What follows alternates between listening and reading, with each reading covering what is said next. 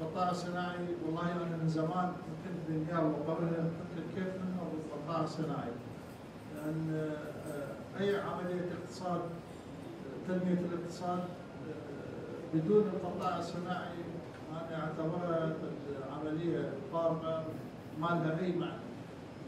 فبالتالي اليوم آه، وجود هاي العملية الصناعة في نينوى واللي هي آه، ممكن أعتبرها على المرحلة القادمة راح تكون هي عمليه الصناعه في العراق يعني أنا عندي أمل في هذا يجوز حاليا يشوف بالمبالغ. لكن لا الجديه والإرادة اللي نمتلكها آه، أعتقد إنه تعطينا مسببات ومقومات نكون إحنا المستقبل في مقدمة. البارحة كان عندي لقاء بالأمانة العامة لمجلس الوزراء. آه، بطلب من عندنا كان هذا اللقاء. من الأجندة اللي ناقشناها هو موضوع تعضيد آه، مصادر تجهيز الطاقة الكهربائية للمحافظة.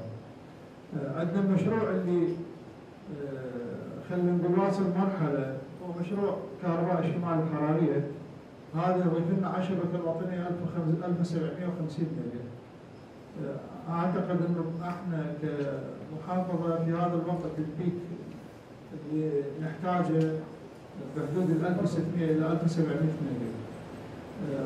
من خلال توفير الطاقه الكهربائيه أعتقد إنه راح تكون هناك آه، عملية استثمار في مجال الصناعة.